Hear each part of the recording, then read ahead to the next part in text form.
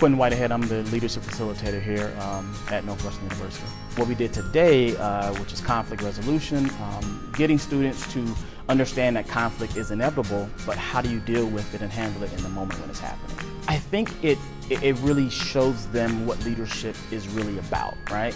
Um, I always tell people before you can lead others, you have to first learn how to lead yourself. So what they do is they actually get to learn about who they are as a person um, and then how that goes into their leadership experience. And then um, conflict is learning how do I deal with conflict? Do I, do I shy away from it? Uh, do I hit it head on? Do I try to smooth it over?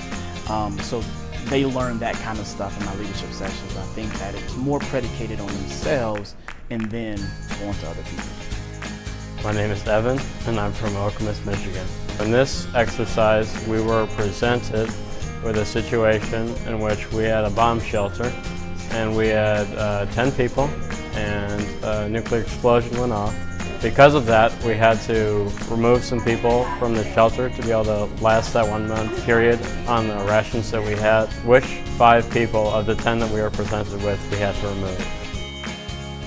I'm Chinaza. I'm from Illinois. In the small groups, we agreed on the five people we wanted to keep, but then we combined groups with other people, and then that's when the conflict started.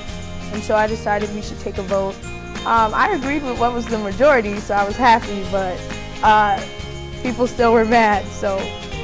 My name is uh, Varun, and I'm from Dallas, Texas.